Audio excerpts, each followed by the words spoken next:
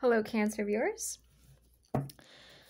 Let's get into the reading. Whatever the cards want to say, just whatever comes out. Let's see what the current story is.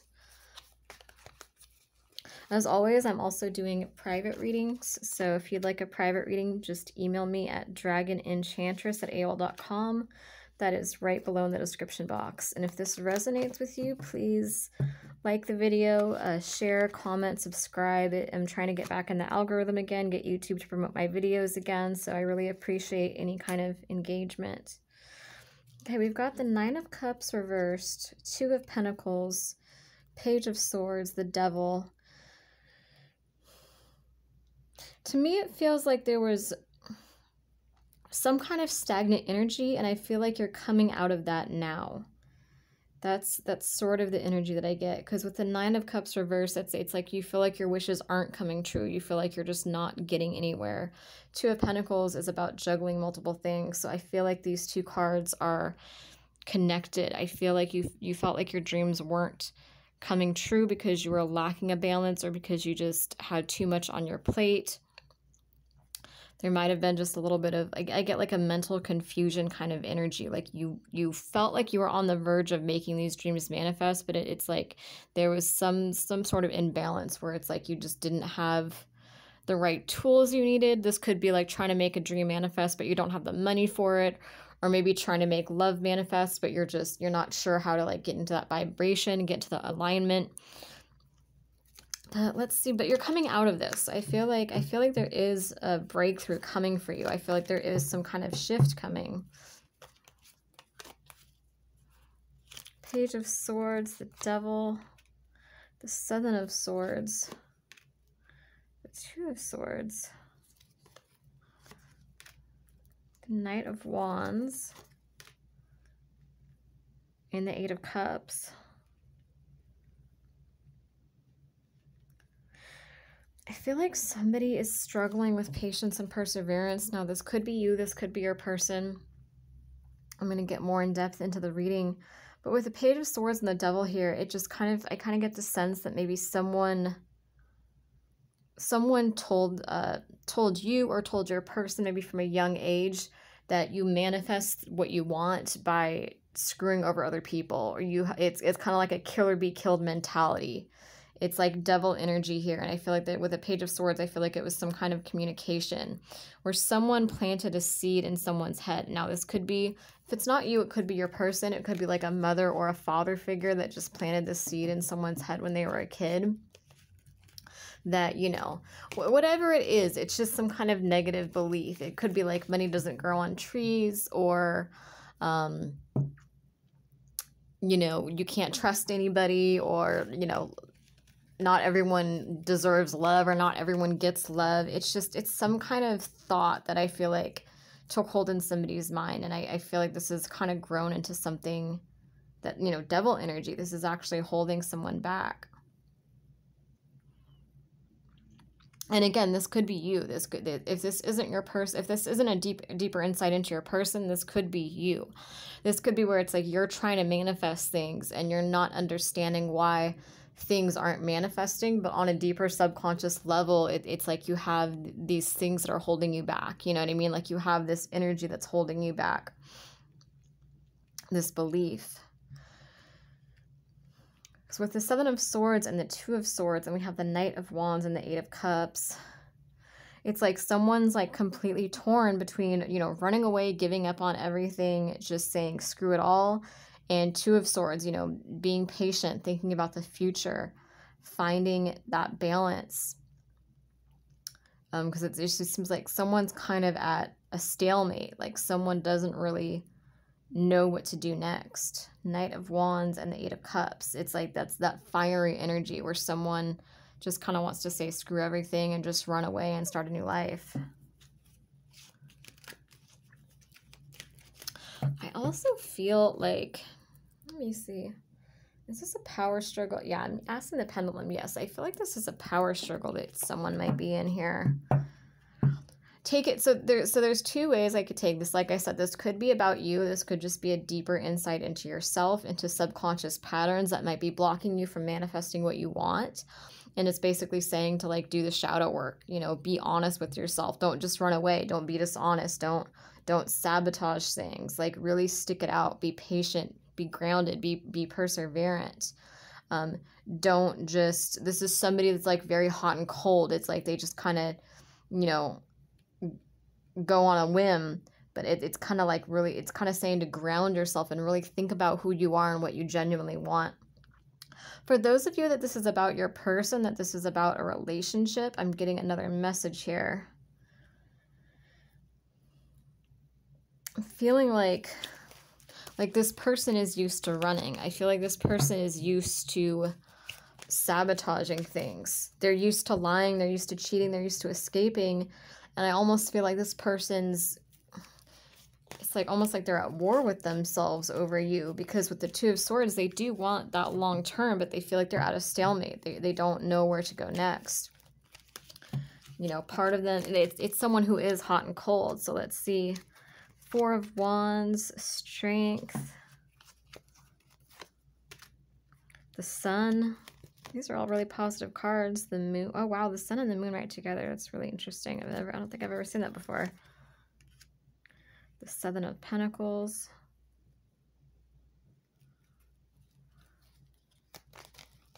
Let's see.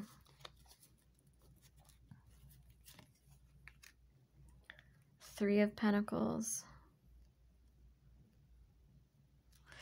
The message I'm getting from this, I feel like somebody didn't take a ace of swords and ten of cups. Okay, interesting. Six of pentacles.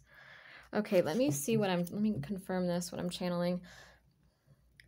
Yeah, what I'm feeling is that somebody did not take accountability in your connection. So I feel like this is a connection. I feel like maybe you guys got in a bad fight with somebody. Now this could be a family member, friend.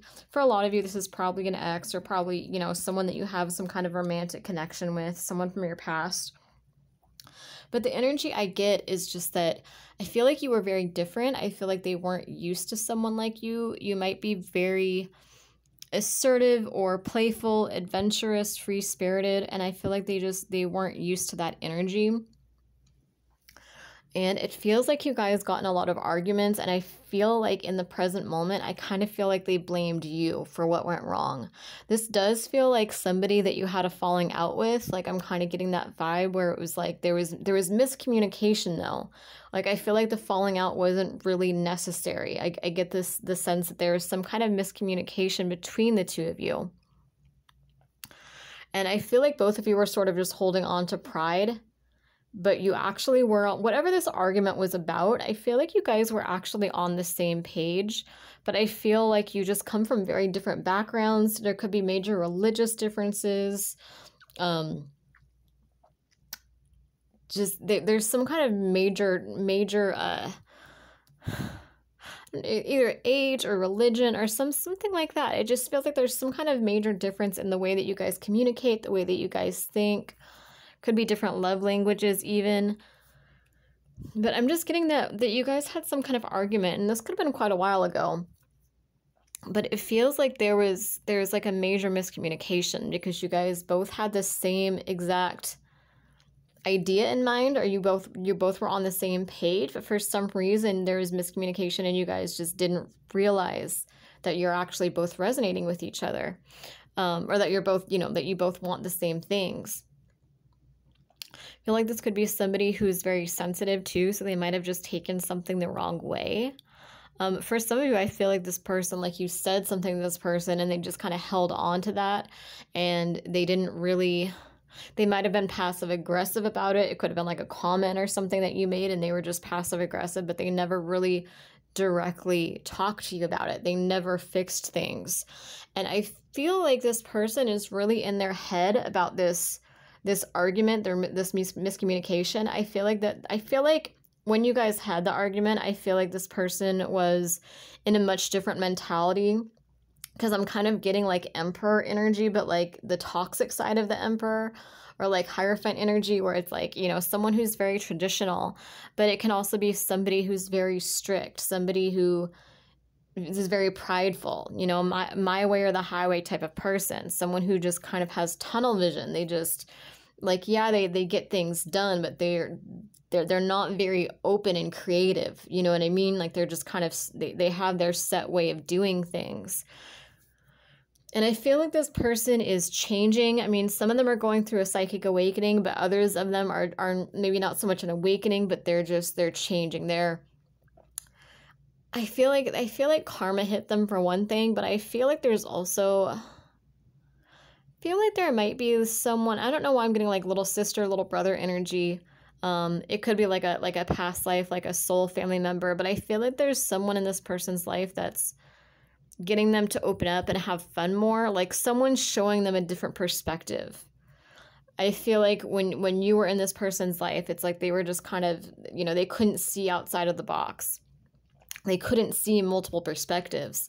But it feels like now this person is really opening their mind up. I feel like it just feels like childlike energy. So I don't know if maybe it could be like an I, I get like a very innocent pure vibe so it could be like an animal it could be like a friend that just has like a very innocent loving supportive vibe to them but whatever it is i feel like someone or something is helping them open their mind up and see different perspectives and see you know different ways of being in the world because it really feels like this person is going back now and they're thinking about you know, arguments and miscommunication between you two. I feel like for a lot of you, I feel like there's one major argument that sticks out in their mind. And I feel like since they have this new perspective, they're they're realizing where they were wrong.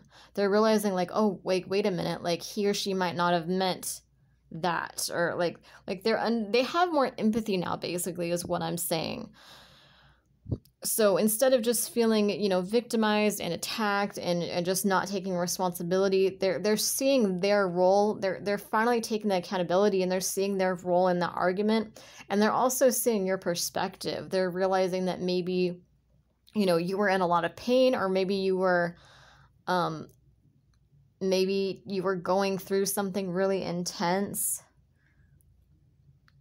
for some i hear like maybe like a parental death or something like like you were going through it.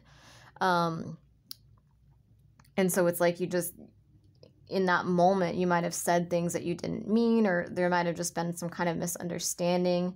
And i feel like you guys were both kind of too prideful and stubborn to to fix that misunderstanding and it ended up sabotaging this. But but it does it does seem like they're yeah like they're changing their perspective here Let's see here.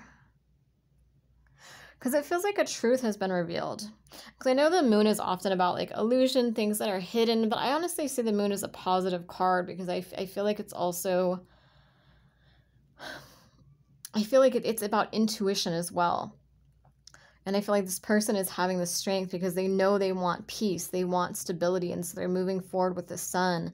This could also be somebody who's just making amends with people and they're they're wanting to move forward with a with a clear conscience. They don't want people to hate them or people to see them a certain way. So there might be an apology coming in here. We have strength and the sun and then the moon. And then it's, it's almost like there's some kind of hidden truth that's revealed. And I it's really interesting though because I don't feel like I mean for some it could be like a friend or some third party telling them this truth, but I'm honestly getting that most of this is going on behind the scenes. Like, I feel like your spirit guides are telling them this truth, or you know just their new their new perspective on things. They're looking back. They're looking back on old relationships old friendships and they're they're seeing their role in things. So so for for most of them i feel like this is like an internal process where they're just really deep in their head right now they're they're really doing a lot of soul searching and i feel like they're gonna I feel like they're really thinking heavily about conversations you two have had and they're, they're coming to different conclusions. They're realizing they, they might not have believed you before. It might have, like in this conversation, they might not have believed you or might not have trusted you. It just feels like whatever it was, it feels like they had tunnel vision. But it's, it's like with the moon here, I feel like this I feel like this is being something's being revealed to them. They're doing this to me is also shadow work you know what I mean? Like if you look at her, male or female, but you know, like you see all these shadows, all this darkness around. It's like this person is is finally they can't really go forward without doing the shadow work. I kind of feel like this person, you know, like I said, they're doing soul searching and they want peace, they want strength, they want stability, they're trying to move forward. But then it's like this shadow work comes up to be done where it's like there's something that they have to go back and see first, basically.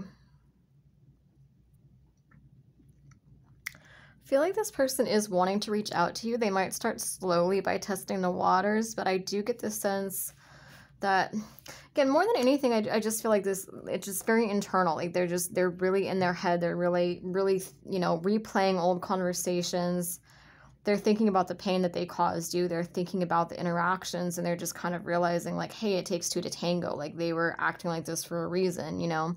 This could be like a situation where like let's say that you got jealous over other girls or other guys all the time and they just thought you were like dramatic and crazy and now they're going back and they're like oh wait a minute i was always talking about my ex. I was always you know liking all these other girls or guys pictures online. I was always you know commenting that they were beautiful. I was always um like comparing my person to other people like like they understand why you were jealous now. They don't just think you were crazy. But i think whatever it was before i think they did just dismiss you for a while where they're like you know this isn't my person or this is just all drama.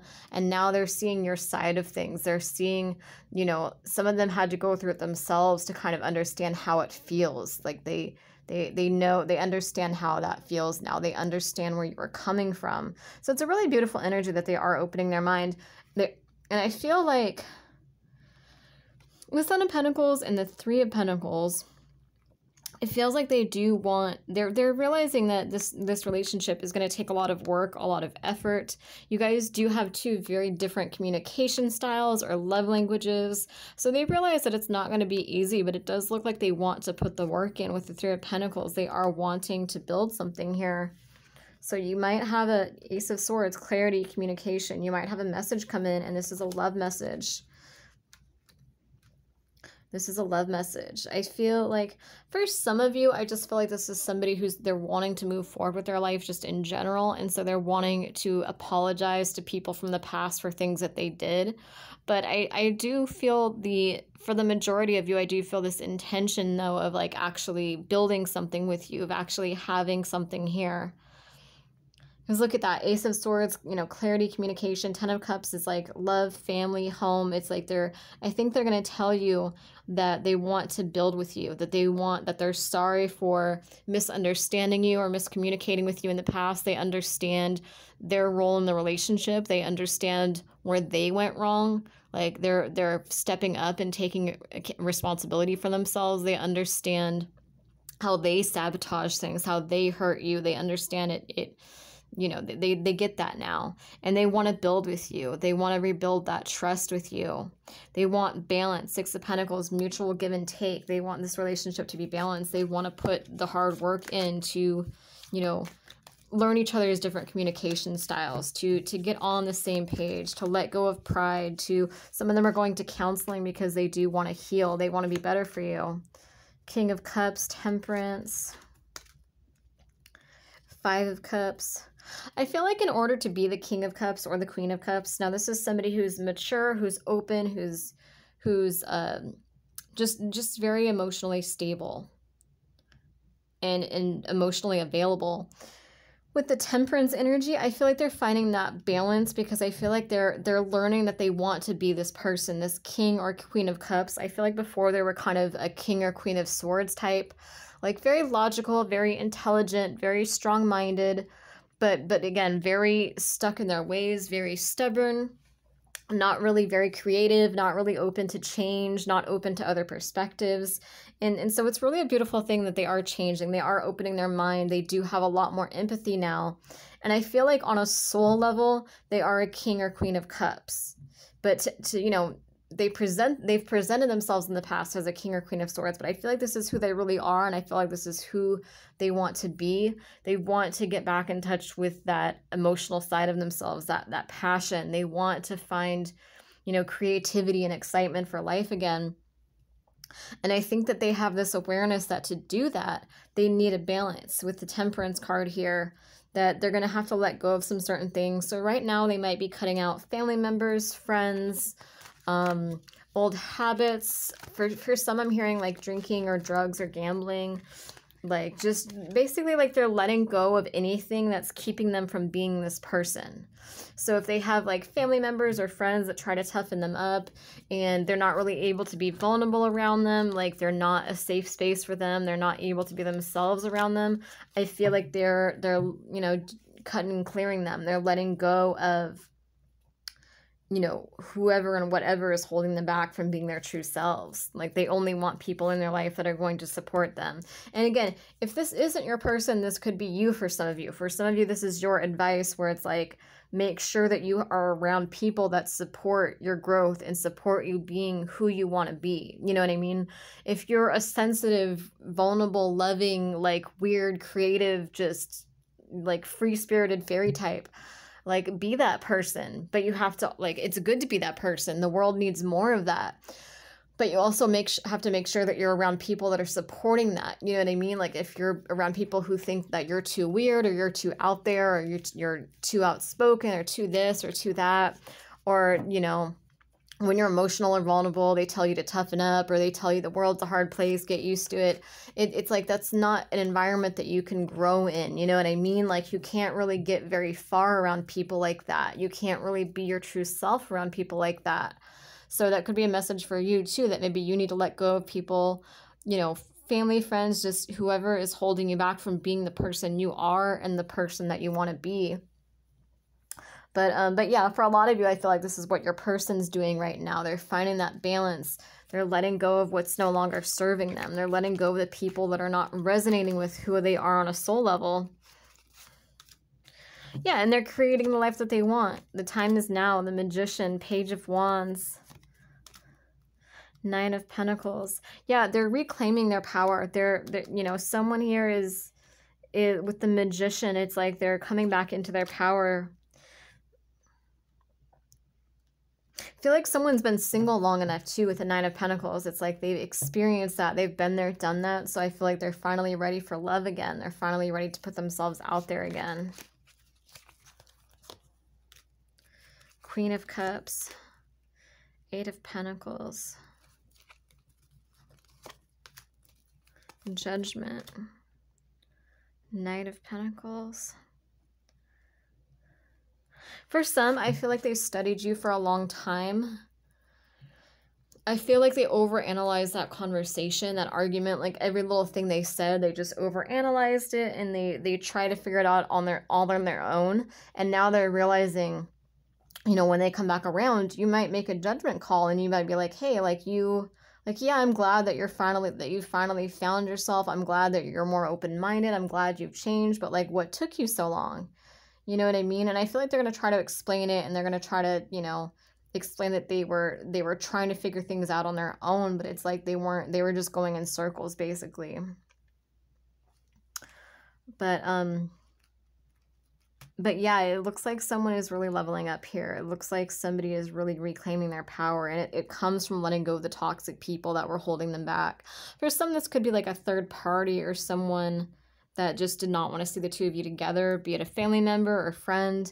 And it looks like, you know, this person is seeing that person's toxicity and they're wanting to let that go so that they can manifest what they want out of life. So, anyway, it's a beautiful reading. Um, please like, comment, share, subscribe. I really appreciate your comments if this resonates with you because like I said it gets me back in the algorithm, gets YouTube to promote my videos again. So, thank you guys so much for watching.